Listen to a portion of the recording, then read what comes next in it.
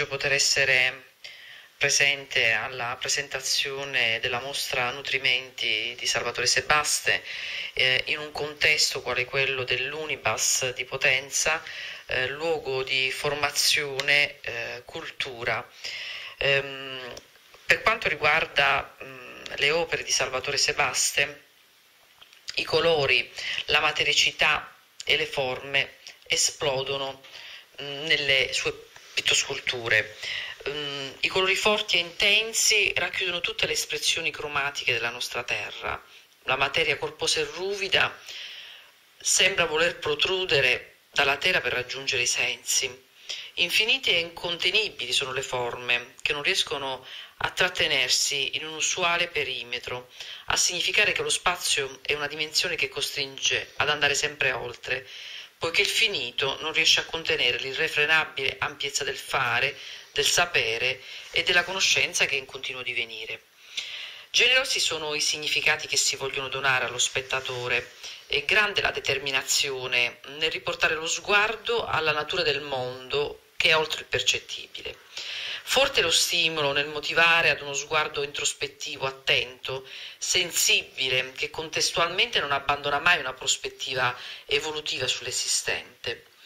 La collezione Nutrimenti contiene pittosculture che costruiscono una visione del presente, che crea impensabili correlazioni tra passato e futuro attraverso la rappresentazione di un continuum che origina dalla natura, dall'ambiente, dall'esistente e dalla persona, luogo in cui abitano cervello, mente e anima.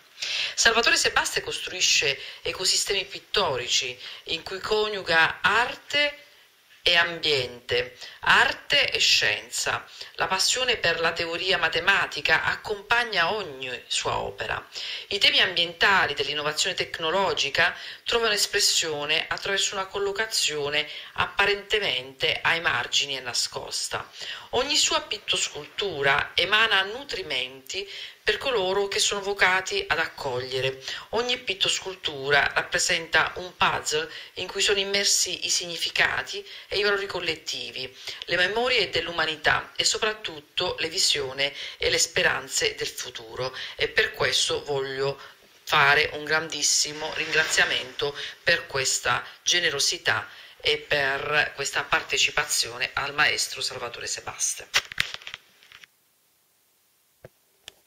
Io vorrei fare un discorso. Ho iniziato il mio intervento breve sul catalogo parlando di Salvatore Sebaste come un artista, un autore genuino e la, la, sua genuinità sta nel rapporto che la mente umana ha avuto con la natura nella sua vita e in particolare nelle due serie di opere che è quella di Matematica Arte e di Nutrimenti più che il Tellus perché diciamo quello ha un, un'origine diversa trattando delle cittadine ovviamente come sono state viste dopo il terremoto. La letteratura, ma la letteratura è una forma d'arte, un linguaggio, e che ha visto due uh, autorevoli professori universitari di letteratura italiana che sono Bottiroli e Barenghi, a proposito del fatto di che cos'è l'arte eh, Bottiroli diceva io voglio definire l'arte, un po' come il professor Pilchard in quel famoso film, no? L'attimo fuggente che in qualche maniera cerca di definire la poesia attraverso un grafico matematico, che è una cosa che ovviamente non ha senso. Mentre invece Barenghi dice no, a me non interessa sapere che cos'è e come definire l'arte, io vorrei pormi la domanda a cosa serve e dà una risposta che secondo me è eccezionale ed è l'arte è un esercizio mentale di immaginazione. Ovvero sia chi vede l'arte, chi legge la poesia, chi legge un romanzo, chi guarda un quadro, una scultura, fa nella propria mente un esercizio, che è quello di immaginare attraverso quell'opera il tema di cui si parla. E quindi l'arte non è solo un'espressione dell'artista che vuole trasmetterti qualcosa, in questo caso eh, vediamo anche alle nostre spalle, questa rivalutazione del cibo come era all'epoca, il passato, mettendolo in relazione col futuro tecnico, tecnologico, in forma materica, appunto come si può vedere, ma è anche un qualche cosa che deve colpire quello che fruisce di questo quadro e quindi di colui, come noi, diciamo poveri, miseri mortali, siamo eh, di fronte ad esso. Credo che Salvatore Sebasti abbia saputo proprio coniugare questo significato non c'è una schisi, non c'è una divisione, una frattura tra